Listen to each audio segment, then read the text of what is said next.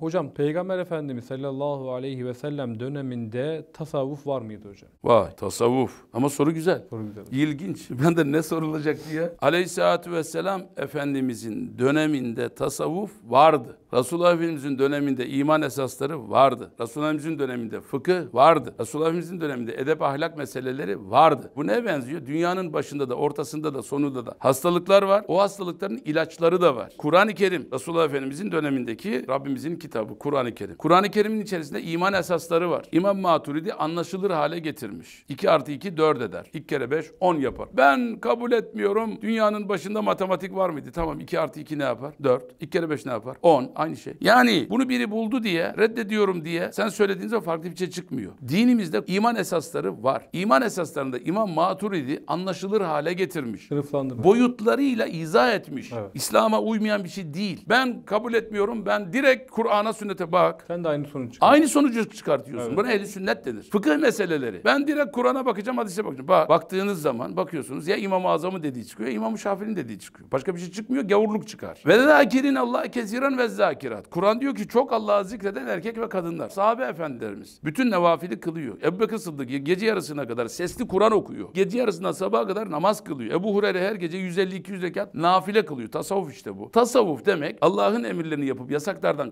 kaçtığı gibi ibadetleri arttırıyor. Sabah namazının farzını arttıramazsın iki rekat. Gece ibadetini arttırırsın. Yani farzlara dokunamıyorsun. Farzlarda kalıp vardır. Nafileler arttırılır. Tasavvuf Allah için ibadeti arttırmaktır. Sahabe efendilerimizin şimdiki tasavvuf Osmanlı veyahut da Selçuklu yanına bile yanaşamaz. O zamanki tasavvufun yanına yani tarikat. Tasavvuf deme, tarikat deme. Dini en zirve yaşamak. Yani buna bir isim koymak. Adam mesela şimdi tasavvuf ve tarikatla hiç alakası yok. Yani bu ünvanı kendisine söyledi diye bu olmaz. Yani biz kelimelere takılmayalım. Ben şöyle bir misal veriyorum buna. 500 bin tane asker var. Buna piyade deniyor. Evet. Bunlar bir atış yaparlar. Vatan perverdir. Vatanın müdafasını yapar. Ancak bir de bin tane özel birlikler var. Bu askeri bütün eğitimi alır. 100 tane, 500 tane askerin yapacağı işi tek başına yapar. Şimdi herkes Müslümandır kabul. Ancak birisi işi ucundan tutuyor. Öbürü de diyor ki ben dinimi, farzını, vacibini, sünnetini bahsetmiyor. Haramlardan kaçmayı da bahsetmiyor. Hazreti Ali diyor ki cenneti görsem, cehennemi görsem daha arttıracak bir ibadetim yok diyor. Artık son diyor. Son Bitti. diyor. Mesela Mahmud Efendi. Canlı gideceğim. Ben şimdi bizzat dizi dibinde büyüdüğüm için. Mahmud Efendi gündüz harıl harıl ilim meclislerine katılıyor. 4-5 tane sohbetlere, Kur'an müesseselerine bizzat şahidiyim. Ondan sonra gece 11'de gelirdi. Yaşadığımı anlatıyorum. Yüzlercesi. Binlerce de diyebilirim. Abartı değil. Bir tanesini anlatıyorum. Gece 11'de geliyor. Ben de İsmail Ağa'dayım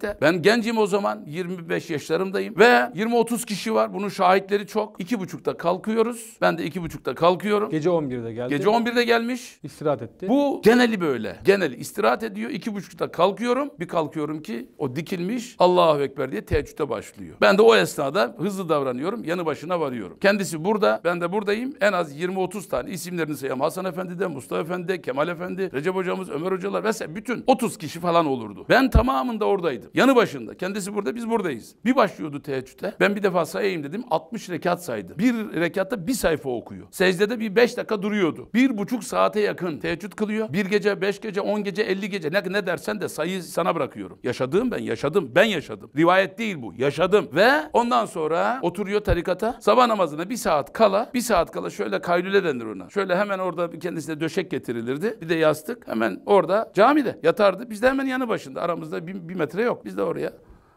yata öyle tatlı oluyor ki o uykuda. Ondan sonra sabah ezanı okunduğu gibi kalkar, abdestimizi alır. Sünneti kılardık sabah namazının sünnetini ve sabah namazını kılardı. Kıldıktan sonra işra bekler, mektubatı okur vesaire. Mahmud Efendi dediğimizin ömrü böyle geçti. Bir gün değil bu. Ömrü böyle Ömrü geçti. boyunca vay be. Hızır Efendi kendi damadı. Hızır Efendi diyor ki bildim bileli Mahmud Efendi'nin hayatı bu diyor. Yani buna tarikat, tasavvuf ya bir şey deme. Dini yaşamaya gayret et. Evvabin kıl, işrak kıl, kuşluk kıl, teheccüd kıl. Günde beş bin defa la ilahe illallah de. Şimdi insanların yanıldığı nokta şu. Gerçek alim ve veliler İnönü tarafından ortadan kaldırılınca ki bunlar ortada. Onun için ben isim vererek söylüyorum. İsim vermeyi sevmiyorum ama bunlar ortada. Ortadan kaldırılınca hakikatler kalmadı. Kalanlar da çok az olunca millet bu sefer yanlışı gördü. Sahtesini gördü. Bu sefer doğruya düşman oldu. Doğru Hacı Bayram Veli'dir. Doğru Akşemseddin'dir. Doğru Ebu Suudlardır. Doğru geriye doğru İmam-ı Azamlardır. Doğru Ebu Bekir Sıddıklardır ve en başta Resulullah Efendimiz'dir. Resulullah Efendimiz'in hayatına bir bakıyorsunuz. Bir saat ayakta duruyor. Bir saate yakın rükû, bir saate yakın secde yapıyor. Yapıyor ve iki rekatı 5 saatte 6 saatte kılıyor. Meşhur hadis-i şerifler var. Ve Hazreti Enes diyor ki dayanamadım artık diyor peygamberin kıldığı namaza diyor. Tasavvuf işte bu. Yani tasavvuf kelimesine niye takılıyorsun ki? Tasavvuf ne demektir? Allah'a kullukta takati sonuna kadar zorlamaktır. Bu. Yani burada şeyhin dediğini, velinin, şunun bunun dediğini yapmak değil. Şeyhi Allah için seversin. Biz Allah'a kulluk ederiz. Sevabı Allah'tan bekleriz. Mahmud Efendi'den, Hasan'dan, Mehmet'ten, Hüseyin'den kimse bekleme. Bu şirktir zaten. Bunu sen bana söylemene gerek yok. Burada karşı taraftakiler ehli tarik olanları iftira ediyorlar. Siz diyor filancaya tapıyorsunuz diyor. Ya ben kime tapacağımı bilmiyorum sen biliyorsun değil mi? Bu iftira yapmakla kendisi müşrik oluyor. Amerika'nın gemisinde köçek gibi oynuyorlar ve o gavurdan silah alıp Müslümanlara kurşun sıkıyorlar. Mucize bir hadiste bitiriyorum. Resulullah Efendimiz buyuruyor ki öyle zaman gelecek ki insanlar birbirlerine şirk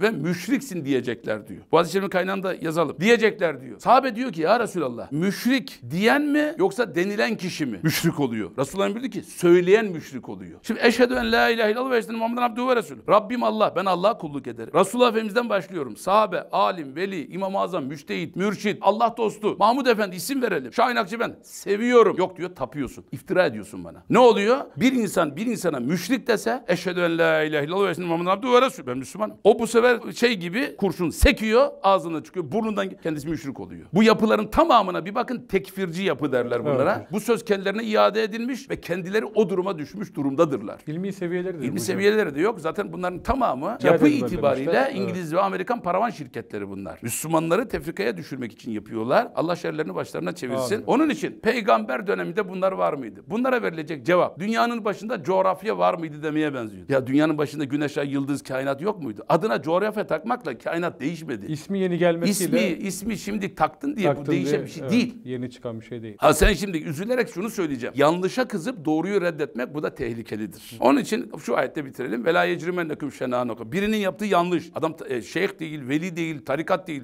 Hayatımız böyle bütün konuşmalarımızda reddediyoruz biz bunları. Osmanlı nasıl çözmüş? Osmanlı başa Hacı Bayram Veli'yi koymuş. Gerçek Allah dostları sahtekarlarını ayırmış. Sağlık Bakanı ne yapıyor? Gerçek doktorla sahtesini ayırıyor. Sağlık ne yapıyor? Rayında gidiyor. Yoksa serbest bıraktığın zaman ne olacak? Önüne gelen doktorum diyecek. Milleti hasta edip öldürecek yani. Şimdi buna da bir kural altına konulması lazım. Bu saha boş kalıyor böyle. Bu saha boş kalıyor. Bana deseniz ki İslam alemindeki en başıboş saha nedir? Askeri olsun ve her türlü sahalarda bir idare var. Ama din sahasında boşluk var. Evet. Üzülerek söylüyoruz bunu. Yani bunu mutlaka ve mutlaka Şeyhül İslam dediğimiz bu işi bilen kişi hangisi dine uymuyor? Adam kalkıyor ülkemizde Kur'an peygamber sözü Allah'ın sözü değildir diyor ve hiç ses yok. Meryem diyor kötü yol kadınıdır diyor. İsa başka yerlerden bulunmuş bir çocuktur diyor. Şu anda görev başında adam. Böyle bir şey olabilir mi ya? Şeyhülislam olsa buna müsaade etmez. Etmez işte yani. Buradaki sıkıntı buradan kaynaklanıyor. Bunların mutlaka kontrol altına alınması lazım. Allah yanlışlarını muhafaza Amin, eylesin. amin. Dini bin İslamiye'de sadakat, dürüstlük nasip etsin.